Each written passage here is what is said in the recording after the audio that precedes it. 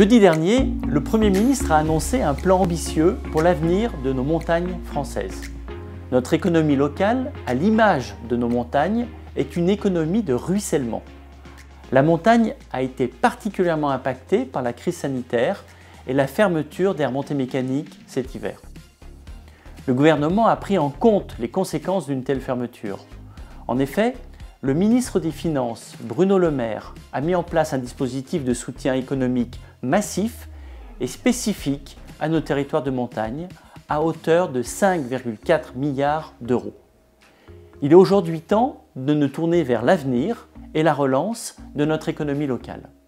C'est le propre d'une crise, mettre en relief nos faiblesses et nous inciter à réagir.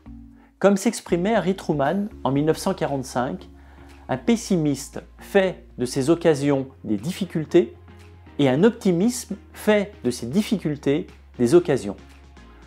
Nos territoires font face à de grands défis structurels qui ont été amplifiés par la crise économique, mais qui étaient déjà présents avant celle-ci. Nous aurions dû faire face tôt ou tard à cette crise structurelle. C'était donc l'occasion de mener une vaste réflexion ces derniers mois avec tous les acteurs de la montagne pour penser et co-construire la montagne de demain.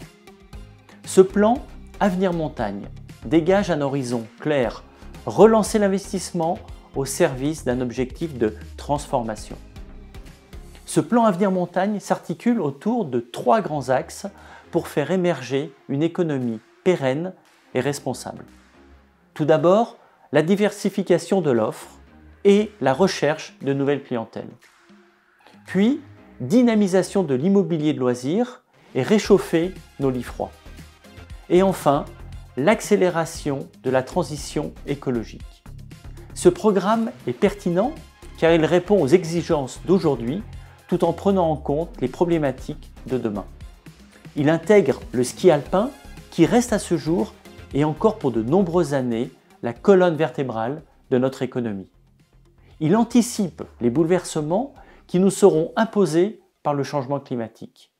Nos montagnes font face à un avenir prometteur, ce plan est pragmatique et à la hauteur de nos besoins. Comptez sur mes collègues députés et moi-même pour être entièrement mobilisés afin d'en assurer le suivi.